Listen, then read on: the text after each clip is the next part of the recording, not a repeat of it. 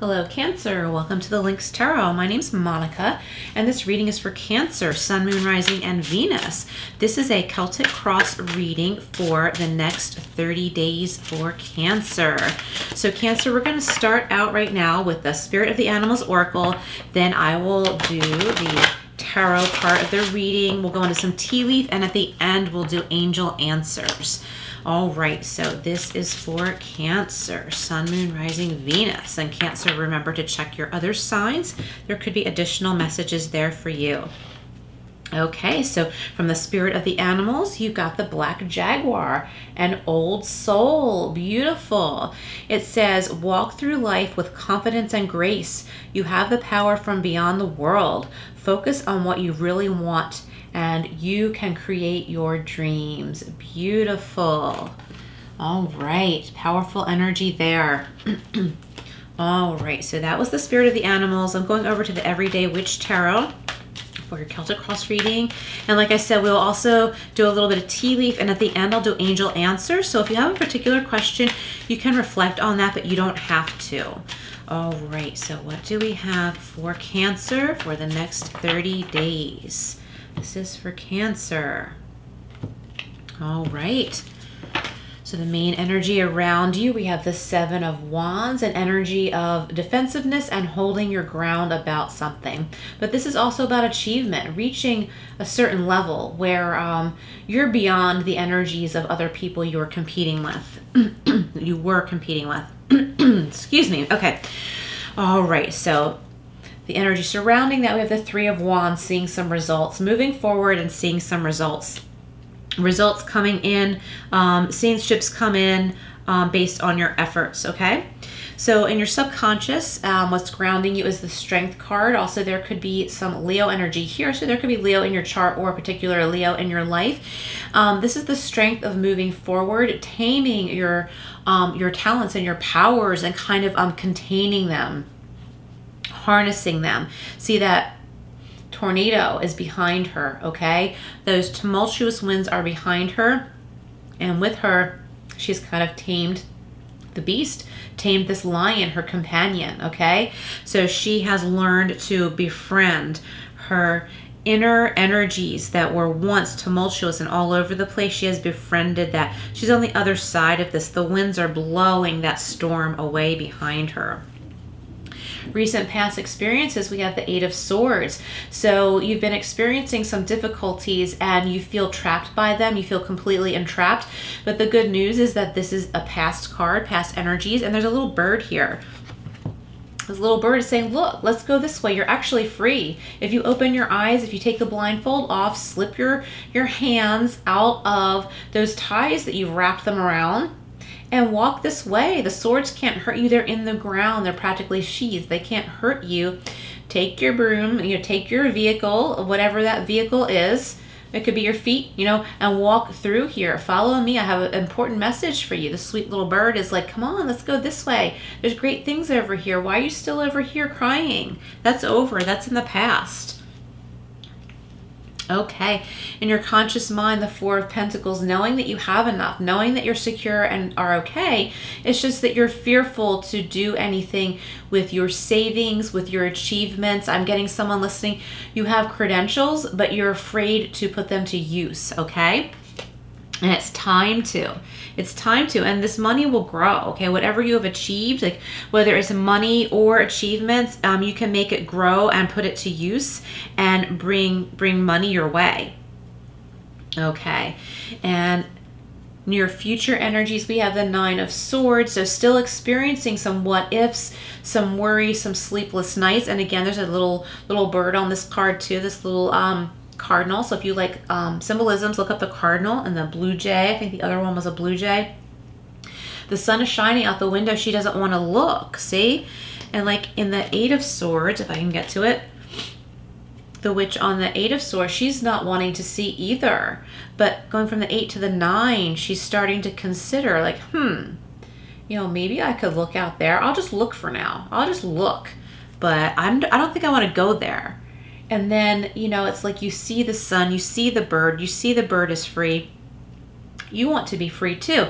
All these books surrounding you, surrounding her, I should say, in this card, represent knowledge. Like knowledge will set you free, okay? There's something you need to learn, some knowledge you need to gain that will then set you free. This could be education, this could be new credentials that bring you freedom because you have, um, you have um, something extra to put on your resume that will increase your earning capabilities, your earning capacity. Um, this could be ideas for starting a new business or something like that. Okay, so um, your current, what am I trying to say?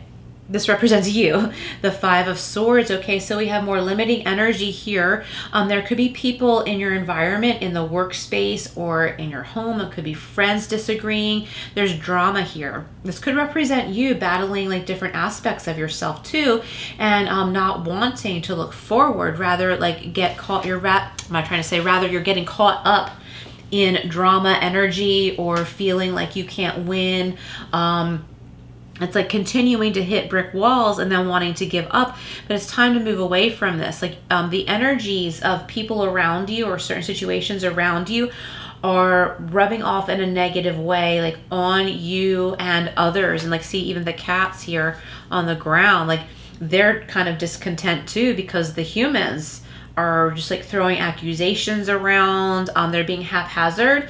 So it's time for you to pull away from those energies, look within, focus on yourself, and realize you can free yourself. You can free yourself from the chaos. And I think it, it has to start with freeing yourself from chaos in your environment.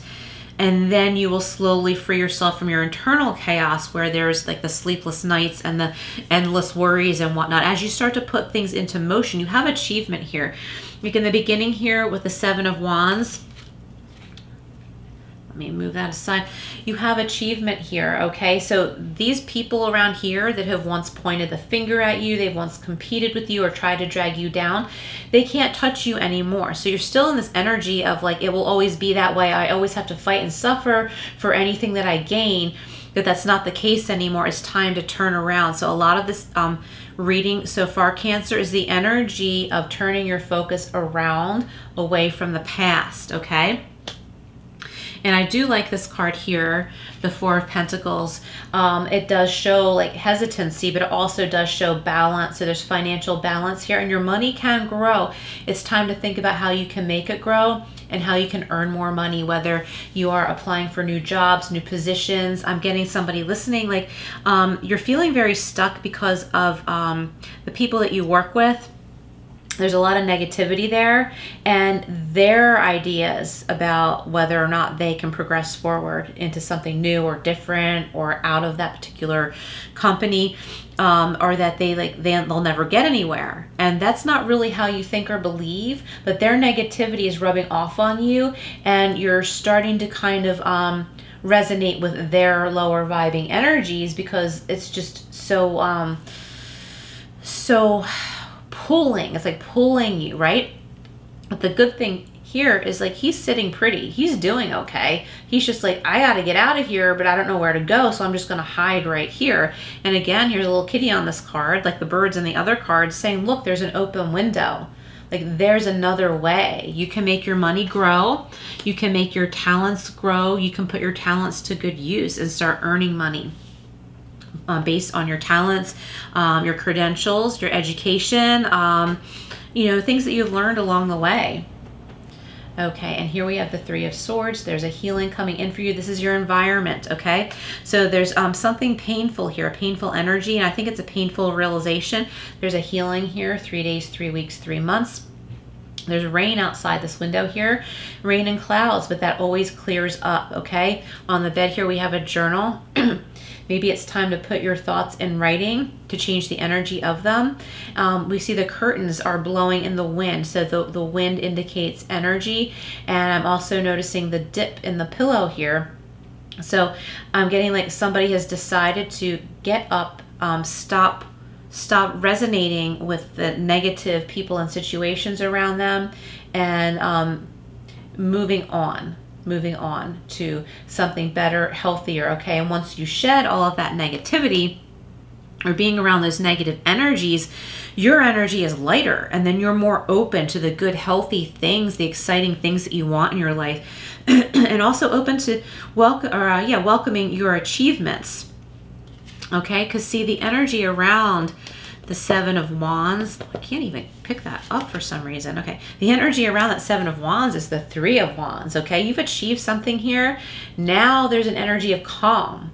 Ships coming in like he's watching his ships or she he or she i'm not sure is watching their ships coming in. There's always a companion on these cards. There's that little black cat and this person has taken their hat off, they put their broom down, taking a break and creating magic with that wand, okay? So this energy is turned from like negativity being pointed at you and um, people trying to stop you to you generating your own energy, creating something, okay? I'm liking the beautiful pink sky on this card right now. Okay, so if you're drawn to colors, um, focus on that, maybe meditate on that color. Okay, so where are we? So, um, hopes, fears, and advice, the Ace of Swords. Search for new ideas, clarity, reach for clarity. The Ace of Swords is different than the Five of Swords, okay? The Ace of Swords is bringing everything together, bringing clarity together. This is chaos. This is not.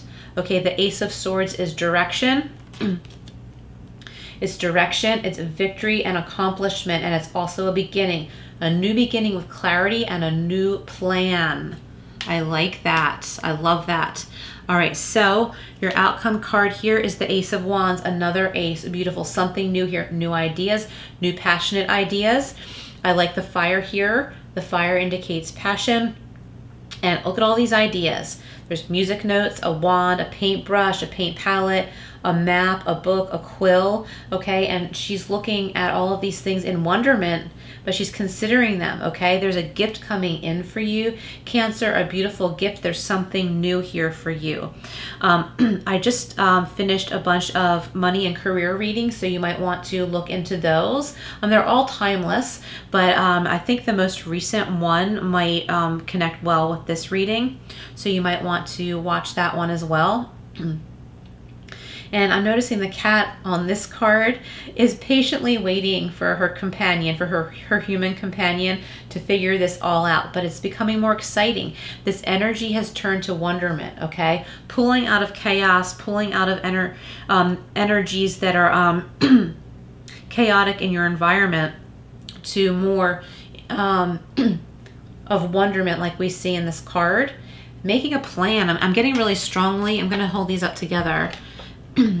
making a plan a plan of action and there's clarity here because you are cleaning up your environment. Maybe your physical environment as well like meaning your home your office space um, maybe do some dusting cleaning organizing. That's going to help as well. So like cleaning up um, cleaning up your life energetically um, having to do with your surroundings in many ways okay? Like your the people that you're dealing with um, your work environment but then also like literally cleaning and organizing things.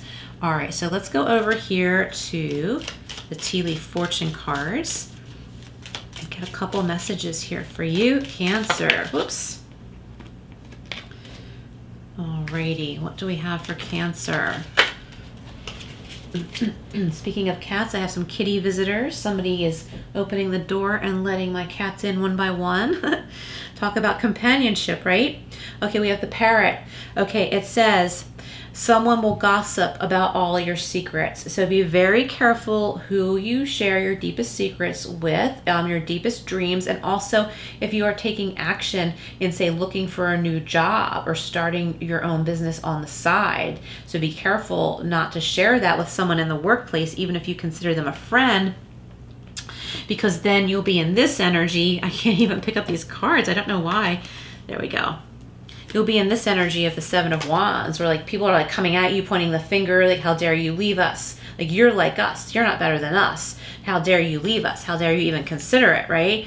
So it says someone will gossip about all your secrets. So it's important to be very careful not to share that um, with people in the workplace okay? Even if it's someone you think you can trust i mean maybe you can but remember that they are also in the same environment um, that you are, and they may accidentally slip and share something, okay? And that's happened to me before. You know, like um, in the workplace, I just, um, I just, you know, needed someone to talk to, and the people I was exposed to were the people that I worked with. So I said something to someone I thought I could trust, and it really backfired in a bad way, and it went on for years. So be careful of that. Okay, we have the owl. It says good advice from a wise person. So um, there's someone coming in here. Look out for that. Good advice from a wise person. Could be an older person, but not necessarily. And we have a month of the year. We have April. So um, at the time of this reading, April is coming up.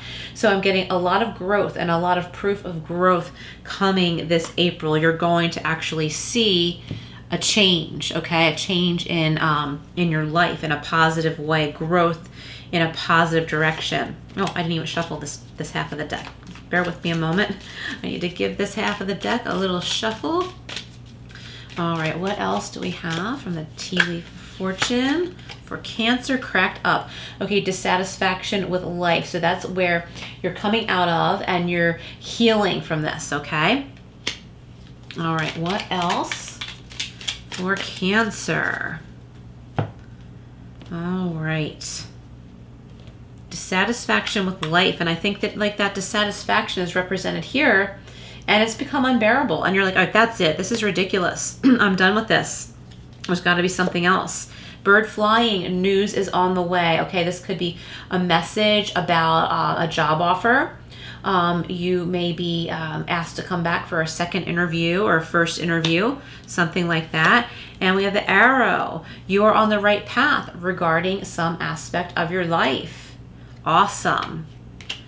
Very beautiful messages here. So I'm going to jump over to the angel answers. Whoops, got to pop out already. So if you had a question, um, you can focus on that now. You don't have to though. Whatever's meant to come out will. Okay, it's not the right time for something. I'm getting it's not the right time to share your new ideas with someone. Share the fact that you want to look for a new job. Um, maybe you can share that with a work friend after you've done it already. Do you know what I mean? Like wait till after. I'm getting like someone has a strong work friend. You want to keep that friend. You're dying to share this information with them but it's not the right time because you still work there. So don't let that person know until you let your bosses and everyone else know. And that particular person will probably still be your friend after. But some of the others probably won't because they're just they're just not vibing where you're going. All right, what else do we have for Cancer? All right, Cancer, we have perfect timing. So there is perfect timing for something else, and you will know when this um, opportunity comes in, it'll feel just right. You'll know it's perfect timing. You'll know that that is for you. All right, one more from here for Cancer. Get more information, okay? This could be about a job. This could be about someone that you're interested in possibly dating. Um, I don't know why this popped into my head, but somebody is considering um, taking in a foreign exchange student. Where did that come from? I have no idea. I haven't thought about something like that in ages. So um, get more information about this. If you're considering that, figure out how it works. Um, you know, I, I, really have no idea myself, but um, get more information for others of you. This is about inquiring about a new job. Um, if someone wants to um, have you come in for an interview, remember you are also interviewing the employer.